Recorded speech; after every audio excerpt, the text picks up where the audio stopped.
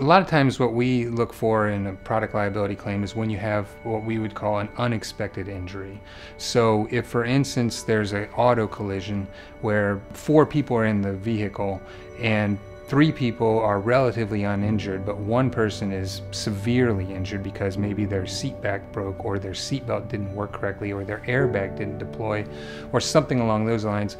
that can be one of the cues to know that maybe something happened with that product that was different than just your everyday collision. There are also a number of resources online as far as uh, finding whether or not a product has been recalled. We have a lot of resources on our website on talking about different types of product defects. It's important that if there's been a severe injury or a, a catastrophic injury that you look into it a little bit more that maybe something happened with this vehicle, if, if something out of the norm happened, not just your regular collision. If you believe you might have a product liability case, it's important to reach out to a lawyer who has experience doing those types of cases. Getting a lawyer, you can access all of those resources that that lawyer has, but it's vital to hiring a lawyer that has handled product defect cases and has handled cases like yours.